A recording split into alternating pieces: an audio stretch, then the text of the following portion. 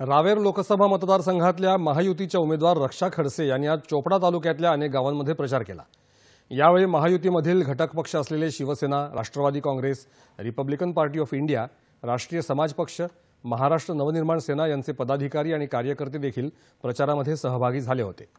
त्यांनी वडगाव अडावद मालापूर विरवाडे नरवाडे आणि आडगाव या गावांमधील मतदारांशी संवाद साधला. आणि भाजपाचे नेते नरेंद्र मोदी यांना तिसऱ्यांदा पंतप्रधान म्हणून विराजमान करण्यासाठी महायुतीला मतदान करण्याचं आवाहन खडसे यांनी यावेळी केलं.